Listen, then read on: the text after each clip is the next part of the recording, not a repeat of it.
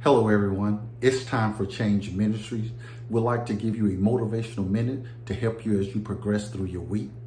The Apostle Paul is writing in Philippians chapter 4, and he writes, Rejoice in the Lord always. And again, I say, rejoice. Now, we have to think about this. The Apostle Paul is in prison, and he's writing this letter. And while he's writing, he said, Rejoice always.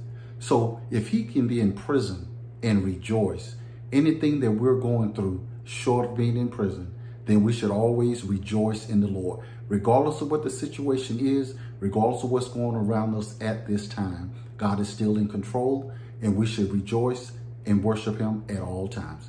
God bless you and we'll see you soon.